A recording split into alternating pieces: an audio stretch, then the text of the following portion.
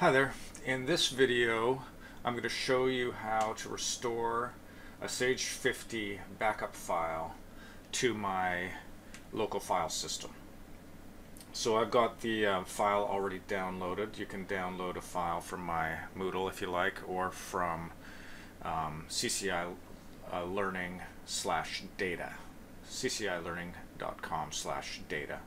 The courseware I'm using is 1665. I've already got it downloaded, so I'm going to quickly fire up Sage 50. So I'm going to click on my Start menu, click on Sage 50. When I open up Sage 50, it gives me some choices, what sort of file I would like to open up. I'm going to choose Restore from Backup. And I'm going to choose OK. And I'll choose Next. I'll browse for the file. I've got it on my removable drive. And it's called Harmony House Music. And this is the company I'll be working with throughout all of the lessons. I'll choose Next. Uh, by the way, it gives you a list of all of the backup files it finds in that location. You don't want to select anything other than what you've just chosen, unless, of course, you made a mistake and you do indeed want to choose a different company. But this, this is the company I do want, so I'm going to leave that selected. I'll choose Next. It tells me a little bit about the file, some metadata. I'll choose Next. And the next step is where I actually choose to unpack the file. Um, it's going to the location that I last unpacked my file to. A good spot to put your file is uh, simply My Documents. You could create a folder for all of your companies in there.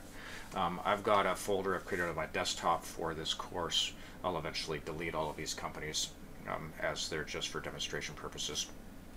So you'll notice I have a folder called Delete on my desktop. So I'll just browse to that same location just to show you how I got that link that path I should say. And I'm going to call it, this is Harmony House of Music, I'll just call it Harmony House of Music.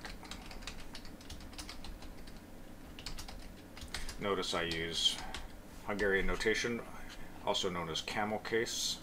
Um, if you ever anticipate you want to save, uh, share a file via the internet, it's a good idea to avoid spaces and I'll choose save and next and finish.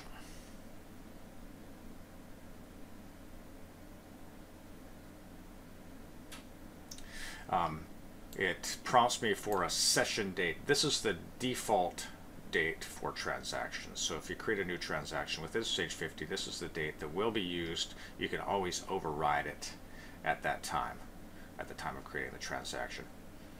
I'm just going to leave it as February 28th, 2017. I'll choose OK. Um, I get this Welcome to Sage 50. It, it has a bunch of useful links, some videos you can watch to learn a little bit about more about Sage 50. Um, we can do a variety of things here as well, which we'll look at in level 2. Um, a bunch of tutorials.